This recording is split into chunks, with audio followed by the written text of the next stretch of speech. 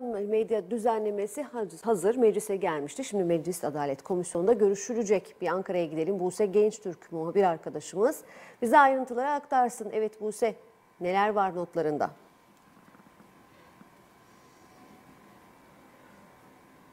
Evet, Yeşimer Yılmaz, e, sosyal medya düzenlemesi Adalet Meclis Adalet Komisyonu'na saatler 16'yı gösterdiğinde geldi ve e, haftalardır tartışma konusu olan bir düzenlemeydi bu düzenleme. 21 Temmuz Salı günü de AK Parti ve MHP ortak gruplarının hazırladığı bu teklif meclise sunulmuştu.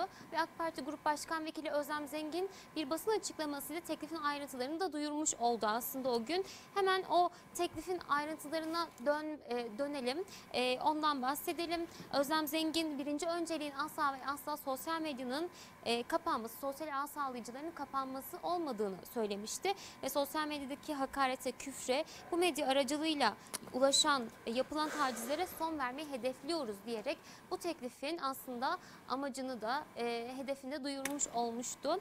E, bu teklif 9 maddeden oluşuyor. Hemen maddeleri de anlatalım. Ayrıca bir maddenin de eklenebileceğini söylemişti Zengin. Onu da ekleyelim.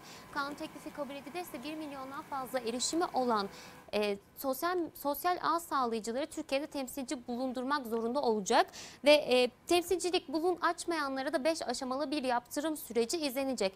5 aşama neler? Ee, birinci aşamada 10 milyon lira ceza verilecek temsilcilik açmayanlara ve 30 gün beklenecek.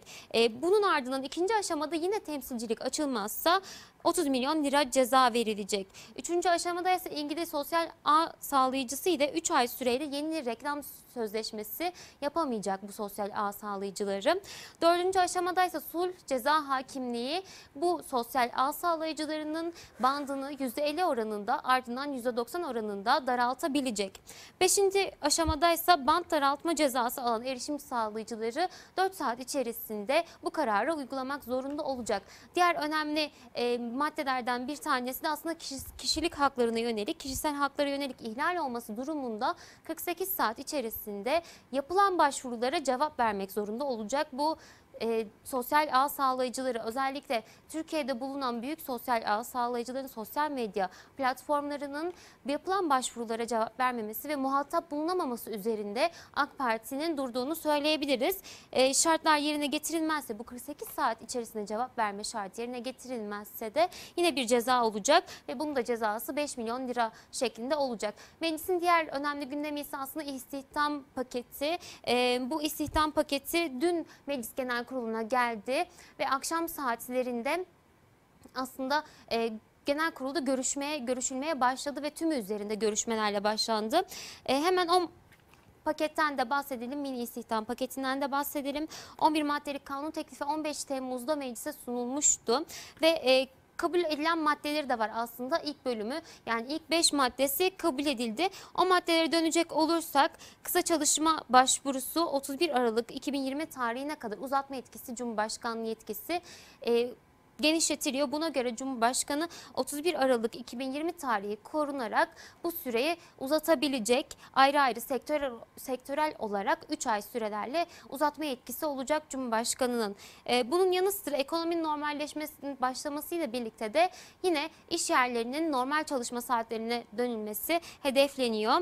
Ee, bir diğer önemli e, şey de destek aslında COVID-19 salgını na ilişkin verilen destekler vardı. Kısa çalışma ödeneğiydi bunlardan bir tanesi. Kısa çalışma başvurusunun sona ermesi durumunda da 3 ay asgari ücret üzerinden prim desteği verilecek.